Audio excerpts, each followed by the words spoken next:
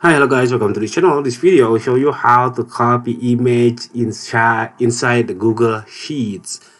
Okay, here I already put my Google Sheet. I have an example image. I don't know what image it is.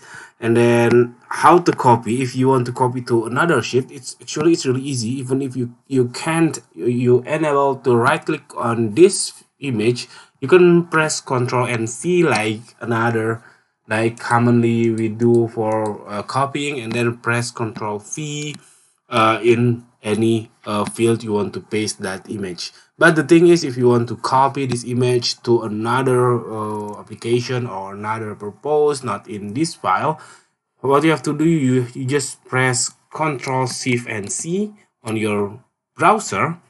I recommend to you to using the Google Chrome and then here you can see there is an option of uh, this cursor of mouse.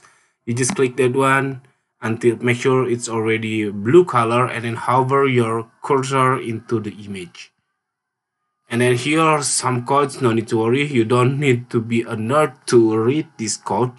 Actually not to read this code but as you can see this is the image. And then uh, there is a link of this image Commonly, it will be prefixed by blob or blob, and then you just right click on that and then open in new tab that link which is the link of image. See this is the image already open in a new tab of my browser and then i can right click here and then copy image and then i can paste it to another uh, application to whatsapp to anything.